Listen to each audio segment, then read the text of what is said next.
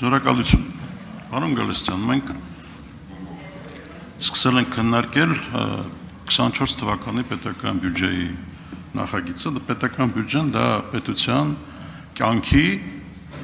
հնարավորությունների ու ցանկությունների նկարագիրն է հաջորդ տարվա։ Եվ ամենամասնագիտական կառույցը, որ դրա վերաբերյալ գնահատականը տալիս, դա կենտրոնական բանկն է, որտեղ համ գնահատականը տալիս, համ իր վարած քաղաքականությամբ օժանդակումա, որպես այդ բյուջեն ու այդ մեր արջև դրված նպատակներ իրականանան։ Բայց խնդիրը կայանում հետևյալում, որ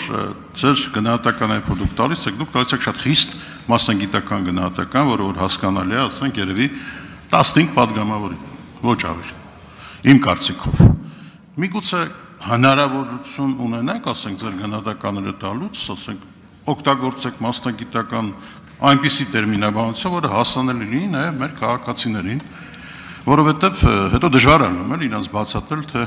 այն կենտրոնական բանկը, որ էսի ասում էր, էսևա ինչ էր ասում էլ, չենք կարողանում ասենք վերջում մարդկանց բան անենք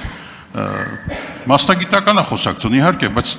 քաղաքացիներ կան, սա Հայաստանի մա հետևում է բյուջեի քննարկմանը։ Այդ մարդկանց մենք ինչ ենք ասելու, ինչ էր ասում կենտրոնական բանկը, լավ կլինի թե վատ կլինի։ Այս բան էլի մարդկանց կողմից ուղերձ են հղում ձեզ, որ ասենք մասնագիտական գնահատականներից բացի նաև այն տերմինաբանություն օգտագործեք, որ հասանել է սովորական մարդկանացուն, քաղաքացուն։ Տնտեսագիտական կրթությունը մարդկանց համար ցանկալի է, բայց դեռ հասանելի չի։ Շնորհակալություն։ Ես կարող եմ ասել, որ քրիտիկան ընդունվեց, ուղղակի մենք խորհուրդ, խորհուրդը ընդունվեց, Ուղղակի մենք որ նայում ենք օրինակ երկրի կենտրոնական բանկի նախագահները, երբ որ ելույթ են ունենում սենատում կամ կոնգրեսում, իրենց խոսակցությունը բացառապես պրոֆեսիոնալ է, բայց բնականաբար մենք կփորձենք այդտեղ